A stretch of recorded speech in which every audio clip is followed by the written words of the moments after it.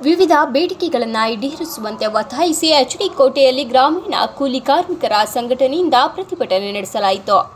HD ಕೋಟೆ ಪಟ್ಟಣದ mini ವಿಧಾನಸೌಧದ ಮುಂಭಾಗದಲ್ಲಿ ಜಮಾಯಿಸಿದ ಗ್ರಾಮೀಣ ಕೂಲಿ ಕಾರ್ಮಿಕರ ಸಂಘಟನೆಯ ಪದಾಧಿಕಾರಿಗಳು ಸರ್ಕಾರದ ವಿರುದ್ಧ ಧಿಕ್ಕಾರ ಘೋಷಣೆಗಳನ್ನು ಕೂಗಿ ಆಕ್ರೋಶ ವ್ಯಕ್ತಪಡಿಸಿದರು.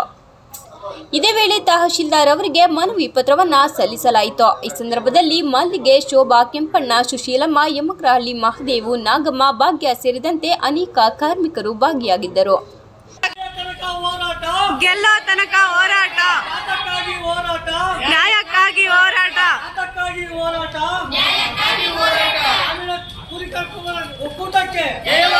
ಕೆಲಸ ಕೊಡಿ ಕೂಲಿ ಕೊಡಿ.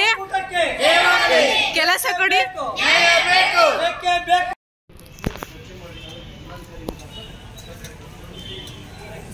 ಕಾರ್ಮಿಕರ ಹೋರಾಟಕ್ಕೆ ಬೆಕ್ಕೆ ಬೇಕು ಬೆಕ್ಕೆ ಬೇಕು ಎಲ್ಲಿಯ ತನಕ ಹೋರಾಟ.